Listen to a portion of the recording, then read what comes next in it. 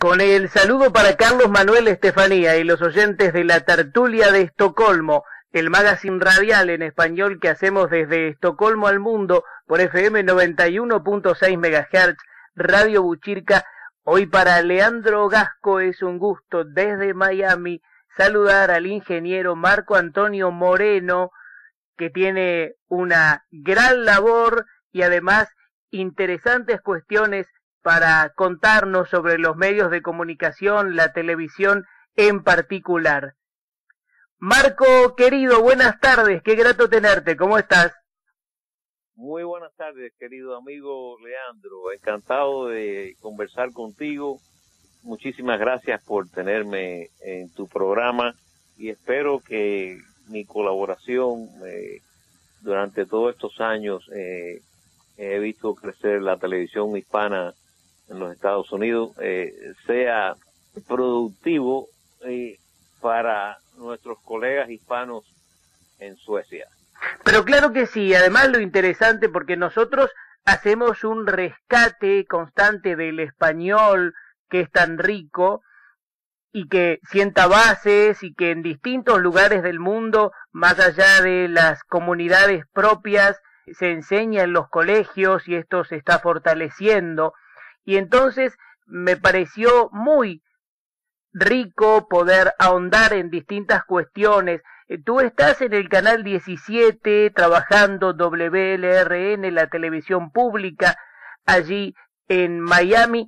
Yo te comentaba en alguna oportunidad cuando nos encontrábamos de apreciaciones que tenían que ver con programas, por ejemplo, en español generados en Miami por allí un canal que manejaba o que estaba muy cercano en los contenidos, un cubano que se llamó James Televisión, donde estuvo una querida amiga mía que trabajó mucho conmigo aquí en Argentina, este, Lita de Lázari, y otras personalidades más también que fueron nutriendo eh, la televisión hispana. Tiene justamente una evolución, un desarrollo sobre el que quiero adentrarme, pero antes quiero que me cuentes cómo te conectas tú con los medios de comunicación porque eres ingeniero de video y transmisiones.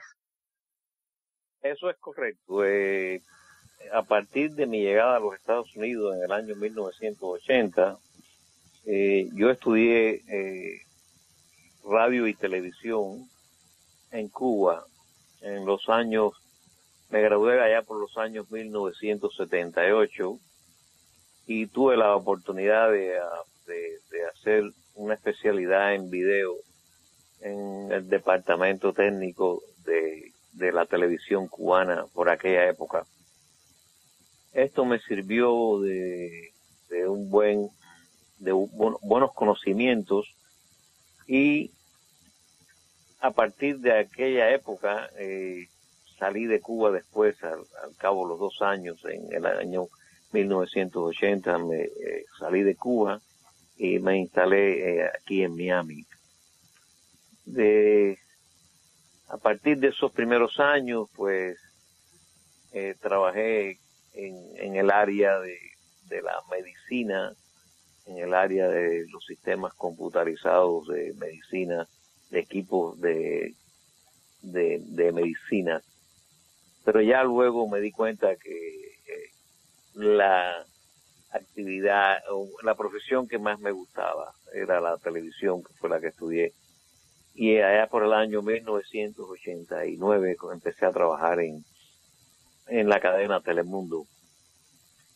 Ahí trabajé como ingeniero de video, como te cuento, y, responsable por las transmisiones que se hacían a diferentes países, ya sea recibir eh, videos eh, o documentales o de programas que venían del extranjero hacia Estados Unidos y aquí se retransmitían ah, para otros países.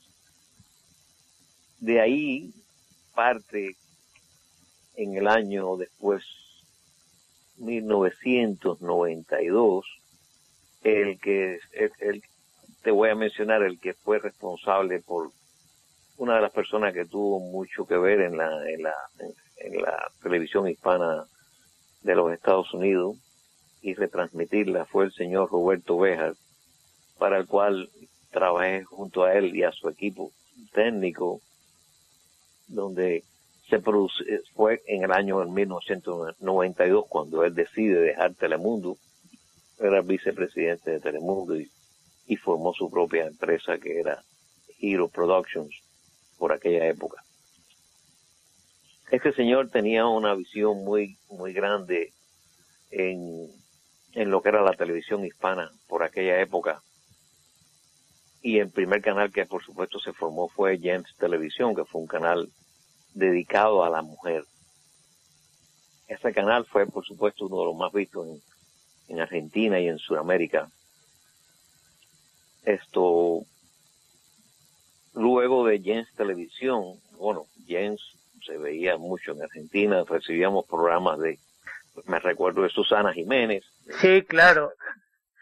Sí, no, fue, fue innovador, ¿eh? fue innovador realmente en pantalla. Sí, sí, exactamente, exactamente. Estaba ese y se produjo también una conexión con, con Sur, es un canal de, del Perú, es una cadena importante en Perú por aquella época, y esos dos esos dos canales se exhibían, se transmitían, perdón, a Sudamérica y a incluso a Estados Unidos.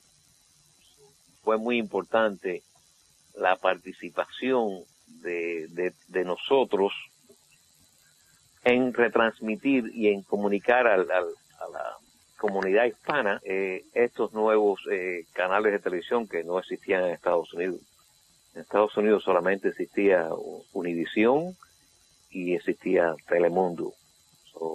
entra Jens Televisión, entra Sur, canal de canales del Perú, y a partir de ahí, esta empresa de, que era Hero Productions, este señor Roberto Bejar fue muy innovador en esto porque presentó a la televisión norteamericana que podía ser eh, factible eh, transmitir los programas norteamericanos eh, al español, donde ya entonces alcanzó un nivel alto porque podía digamos, canales como Nickelodeon, canales como, eh, digamos, de deportes, eran completamente en habla inglesa. Sentó las bases definitivamente para lo que estamos viendo hoy en día, ¿no? Y además tuvo una apuesta clara de plantarse, manifestarlo. Sí, sí, sí, e incluso hacer una inversión grande sabiendo de que o ganaba o perdía.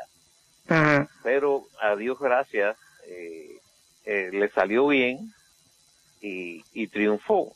So, por eso es que hoy en día podemos tener eh, cadenas como ESPN en español, eh, Fox en español, eh, ABC en español.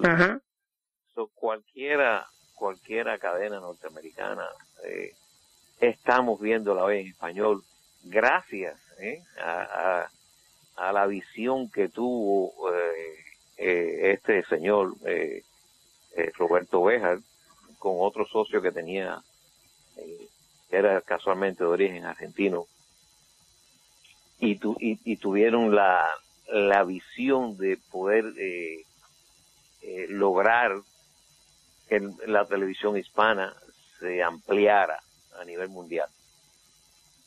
Sí, y un mayor profesionalismo también, ¿no? Así que eso es para destacar de Roberto Bob Bejar también, y yo te agradezco que hagas este resaltado, ¿no? Y además para que eh, en la historia grande de la televisión hispana eh, se fije su nombre. Ahora te pregunto, estimado Marco Moreno, ¿cómo tú ves también los contenidos en español? Porque incluso actualmente en tu labor desde la televisión pública eh, hay varios productos y, muy logrados en español. Sí. Hay mucha diferencia entre la televisión pública y la televisión comercial. La televisión pública es una una programación eh, de un contenido más, eh, digamos... Eh, Educativo-cultural. Educativo-cultural, correcto. Eh, estoy muy contento de poder eh, participar de esta programación porque el 100% de la programación es educativo y cultural como tú lo acabas de mencionar. Ahora es interesante porque, Marco Antonio, se ven buenos productos porque en muchas oportunidades cuando uno dice algo educativo o algo cultural lo puede sostener a lo mejor como algo no tan entretenido. Sin embargo, como hay una apertura grande de voces y de personalidades y hay conductores que tienen este formación, expertise, eh, sabiduría de vida, todo eso se traslada en la imagen y entonces logran hacer algo realmente eh, diferente, con, personalidad, en momentos en los cuales uno distingue a lo mejor en línea general una televisión que está un tanto uniforme. eso es correcto, eso es muy correcto. Eh, luego de esto, luego de, de, de, esta, de esta fase de la, de la televisión hispana, eh, ya en los años por el 2000, 2003 eh, tuve la oportunidad de, de, trabajar o volver a trabajar con Telemundo, pero en la parte de, de novelas. Las telenovelas eh, se trajeron a Miami. Bueno, primero ingresaron en los años 80 y se grababan aquí una productora que se llamaba Capital Vision y estas novelas actores actrices de México, mayormente, y cubanos que residían en Miami, se retransmitían por, por cadenas como Telemundo y Univisión. Ahora bien, ya en el año 2003 sí se hace una sociedad con RTI de Colombia, que es una gran productora de, de telenovelas en Colombia, y, y comienzo a trabajar en el proyecto este donde se me da la, se me da la responsabilidad de montar los estudios de, grabaciones y los camiones de televisión que iban a grabar los exteriores. Ahí tuve la responsabilidad igual por la, por la calidad del video, las grabaciones, tenía que hacer, digamos, la parte de, de, de las cámaras, control de cámaras, que es controlar que los niveles de video se vean bien, tengan todas las tengan todas las señales de video como lo, como lo permite la FCC, que es un, el Federal Communication Commission de los Estados Unidos, donde tú tienes estándares de... Sí, normas, normas, claro. Normas, le diríamos en español, en un buen español, normas de, de niveles de video para que los televidentes en sus receptores lo puedan ver eh, bien correctamente. Ahí tuve la oportunidad de ser eh, el grabador y el ingeniero de la producción también, donde adquirí mucha experiencia y responsabilidades. Por un periodo de, digamos, fue alrededor de unos 2000, como de tres o cuatro años, alrededor de cuatro años. Vaya, tienes sobre tus espaldas una gran formación y un gran camino, ¿no? Porque todo esto que se cimenta en experiencia que, que vas ganando, luego se logra la excelencia, además de esto de tener una comunicación, porque tiene que haber todo un trabajo de coordinación también, incluso como nos comentabas con el mismo director en el caso de la televisión o bueno, también cuando filman exteriores. Sí, sí, sí es, es, un, es un trabajo de equipo desde productores, desde director, del script, que es quien lleva todo el seguimiento del vestuario de los actores y actrices. El, el sonidista es muy importante, una persona muy importante también es el director de luces, una persona que ilumina, y, y yo que sería el grabador y el operador de video, que es quien quien se responsabiliza porque estas grabaciones estén eh, correctamente. Eh, básicamente, eh, sí, fue un producto de alrededor de, como dije ahorita, de varios años. Entre, entre ese tiempo y el anterior, también tuve la oportunidad de trabajar con cadenas americanas con, con muchos años también. Trabajé con, con ABC, trabajé con ESPN, eh, trabajé con Fox, hice mucha televisión eh, en eventos deportivos, eh, asistí a Olimpiadas, como la Olimpiada de Atlanta, como series mundiales de béisbol, de, o sea, de basquetbol. Eh, he, tenido mucho trabajo que hacer y esto me ha permitido eh, tener una experiencia vasta para poder... ya un liderazgo diría no un liderazgo ya adquirido no porque con todo ese camino y cómo llegas a, vincularte a la, televisión pública llego a vincularme a la televisión pública en una oportunidad por allá por el año 2007 que necesitaban un ingeniero para que estuviera eh, responsable de la programación español que hacemos aquí, que normalmente la se produce aquí eh, dos días a la semana y se va y se pone al aire el domingo. Entonces eh, entrevistaron y vieron que yo tenía las, las cualidades para tener esta posición, a la cual me siento muy agradecido y que me dieron esta oportunidad. así llego aquí, estoy a cargo de la televisión en español, la parte de ingeniería y desde el año 2007 hasta el presente. Bueno, felicitaciones por eso y merecido, ¿no? Sí, entre, entre y entre ambos, eh, entre preámbulos debo comunicarte que también tuve la oportunidad durante todos estos años, aunque trabajo aquí en la programación en español, de tener la oportunidad de participar en un canal que se abrió aquí ah, por allá por los años 2010, 2000, sí, 2010, yo diría, que es un canal que se lo formaron un grupo de España, al cual llamaron Imagina USA.